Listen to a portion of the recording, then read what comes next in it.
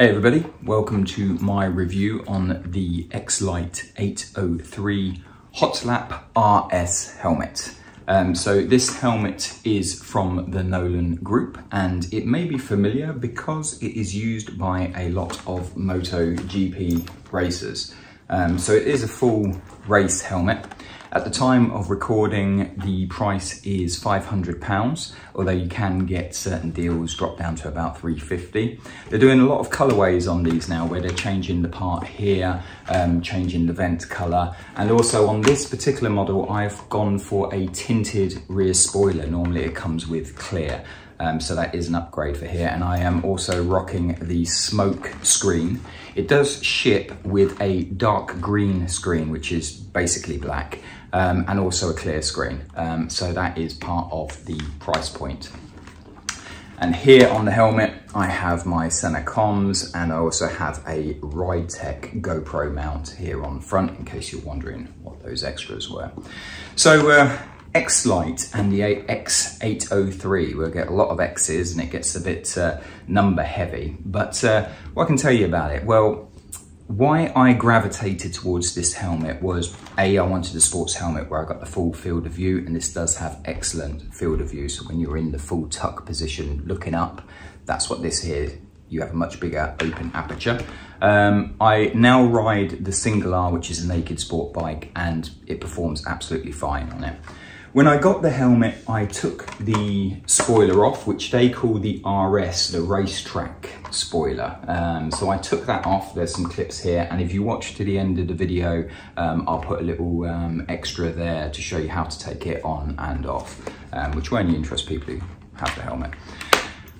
So I took it off and I put the normal spoiler on there because I kind of thought, you know, if I have this spoiler on, it's a bit, you know, showy, look at me, you know, all the gear and no idea basically. Um, and then I wanted to put it back on, so I did, and I can tell you it makes a massive, massive difference um, above 100 miles an hour. Um, so this spoiler here, if you do ride above 100 miles an hour, you do want to keep it on. And to be fair, I quite like the look, especially with the um, smoke spoiler. Also, at the end of the video, I will put um, some tips or a little how-to on how I lube my helmet. So, finding a helmet that fit my head was actually quite difficult. I've got a very strange shaped head, if I show you here from my hair. I'm actually a 56 circumference which is kind of, you know, not the be all and end all for measuring up. Um, but that's what drew me to X-Lite because if you look through helmets, you'll find that um, a small is usually like a 55 to a 56 and then a medium is a 57 to 58. Now I am a 56 to 57 and that is where X-Lite have a helmet. The small is a 56 to 57. So went and tried it on and then they have another trick up the sleeve to make sure that the helmet fits right, which is what they call their LPC, liner positioning control. And it is here. I'm gonna show you a better zoomed in up there on the screen, but in effect what this is, is it's a sponge that sits inside the helmet and you can ratchet this sponge back into different positions. Now you think like, why have a sponge? Well, actually MotoGP racers were the first to sort of do this. What you do is you put the helmet on and you'll get in a hot spot. If the helmet sits in that position, just a little change, just like that, stops you getting a hot spot. But of course your head can't make it go from here to here. So you put a sponge here and that will push it up. So that is exactly what this LPC system is. And basically you just pop out here at the back the uh, toggle and you just ratchet it into the position you want. And I know for a fact that it works because I was playing about with those settings when I first got the helmet um, and you know, I was riding out, it was fine. After a couple of hours, got a headache, pulled over, ratcheted back a couple of notches, um, waited for the headache to subside, rode home, and haven't had it since, so I know the position that works for me. As the helmet comes from MotoGP, it obviously has all the safety you want. You've got the emergency releases, you've got, um, you know, a carbon um, weave shell, very protective. It's from MotoGP, so basically it's gonna be as safe as it can possibly be. It is a double D ring and um, yeah, no problems there. It does pull over and um, has a little clip for the buckle. Would prefer a magnet, but oh well. Because it's carbon, it is a noisy lid. Um, so, you know, if you like the sound of your exhaust, you'll love it. If not, you might want to wear earplugs. Comfort. The liner is very nice. Um, it's this antibacterial liner, so it's Nolan's uh, green stuff that you see in there. It's very nice. With the liner as well, you do have space to get um, some glasses in there if you do wear glasses, but obviously it's not promoted as for glasses, so you know, use your, you know, try it on and use your own initiative with it. Um, another thing, breath guard, it comes with two. So you have this normal breath guard here, and then you have this massive one, which um, I thought, well, that's a bit rubbish. Um, you know, it takes up half your face and, you know, you look like a bit of a plum or, or a ninja assassin. And I thought, no, nah, I'm never gonna wear that. And um, in winter, this is a cold helmet because there's a lot of airflow for it, which we'll get to in a second. Um, but when I put that breath guard in, in winter, it massively transformed the helmet. So um, when winter comes along, do take it out, put the other one in, ride with it for a couple of hours and see what you think. Um, but basically it transformed the helmet for me in winter, made it a lot more warmer um, and got rid of obviously breath issues, um, which isn't an issue because you have pin lock um, visor system, which obviously is the, uh, the only real way to get rid of condensation. So ventilation it is a very um, airy lid. Basically, the um, locking system for the lid is on pressure, so it pulls itself in as you pull it down. Um, so you really have to work to shut the lid and keep the heat in. When you just pull it down a little bit, even when it's sealed, it still lets in the air around the top and around the side, and that's without even opening the vents. So there's a ton of airflow coming in. You do have this top vent here at the top to bring in airflow to your top of your um, forehead and you have these big vents up here that's going to draw it all the way through and also here on the front you have vents here that you can put in a half position or full position now if you open it to full there is a straight through gap you have to be really, really unlucky. But I did see someone post this, and of course, it is possible that a fly could go straight through that into your mouth. Chances are going to be one in a million, but there is still a chance. Um, so just bear that in mind. The release system for the visor mechanism is good, as in you just press the button, pull the visor off, line it up, put it back in and shut it it's one of them where if you get the knack, you look like a hero, um, or you're just there looking, going, where the bloody hell's the hole, and you know, spending a lot of time faffing around um, when you don't really need to. But it's uh, as good as it can possibly get, really. The visor system itself, so the ratchets that you see are all right, you know, no problems with that. But as I said earlier, to shut it, you rely on pressure, and then to open it, you can see here, it is quite difficult, which which is good, you know, because obviously it's not going to come flying up on you at 100 miles an hour. If it does, you can press a button here to lock it, which, you know, you're never going to do. I think that's a racetrack sort of thing.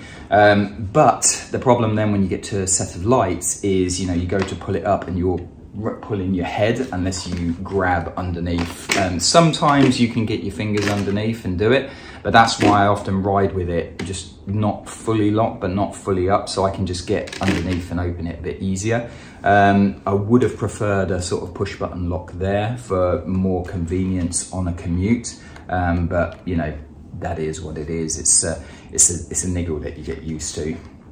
So you do have the button here to lock, but you also do have a commuter button, which is a bit weird.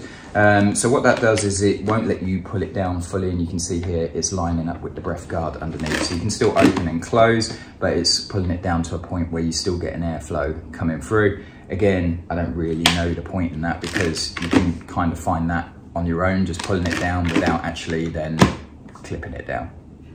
Shields. So you can get now a choice of colors on here. So it ships with clear and dark green, which is basically black.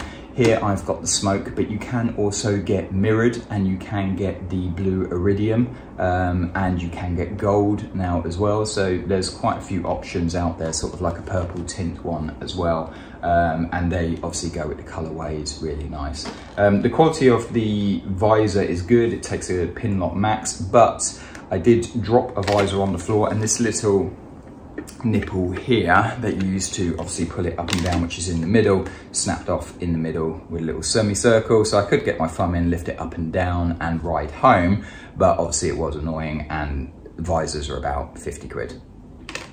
The liners uh, lasted me, um, well, I've had the helmet just over two years and I've just replaced the inside cheek pads now um, as they were starting to get a little bit too loose for me. The helmet wasn't sitting as nice as it used to. Um, so I uh, replaced them uh, recently and they cost about 40 to 50 pounds. Cleaning is a pain in the ass because you get in here so cotton buds, you know, sort of like once a month to get in and get all the bugs out. The bugs come underneath, the bugs go up here on the side. The bugs go everywhere and there's some nooks and crannies on this helmet. So, you know, it is a bit of a pain, um, but then I suppose all are. Um, but yeah, it's the bit getting down in here on these vents that are the most troublesome. So just get a cotton bud and save yourself the trouble. Comms unit. Now I rock the Sena 30K, which I have mounted here on a clamp. Um, when it's on, it suits the helmet quite well. So there it sits and it looks all right, but I don't like speakers in helmets because, you know, over 70 miles an hour, you can't make out what anyone is saying. And I prefer plug phones, so I just plug them straight in and plug into up here.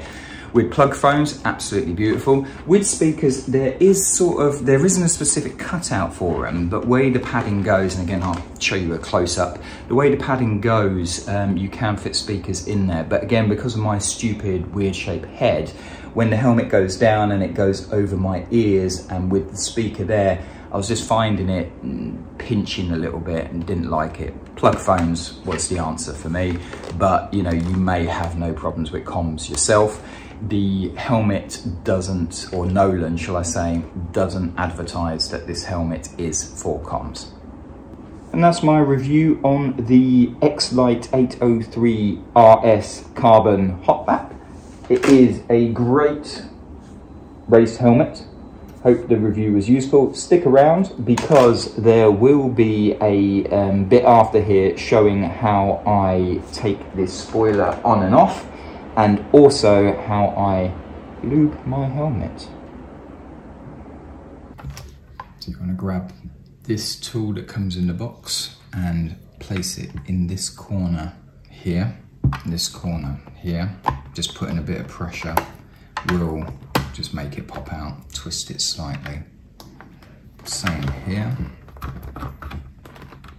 In there, twist it slightly. And the whole thing will just slide out. And here, bottom.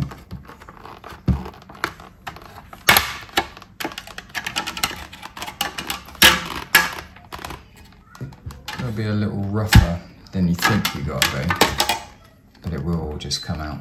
And that leaves you with your helmet like this, to which the spoiler part fits in like so.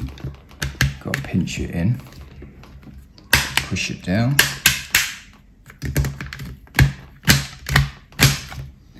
And your side vents fit in this part here.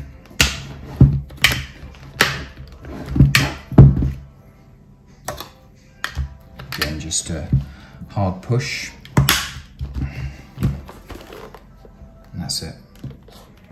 All put back together without the spoiler. Removing these, keep the spoiler shut, pull it up, and again, you feel like you're gonna snap it, but you gotta just pull it hard. A little bit of wiggling. There are, you see here, the pins, but they're really strong. And on the sides, you just grab it out like that and pull it down and back on itself. And it will come straight out like that. Again, you feel like you're gonna snap it. but you're not. And the RS fits in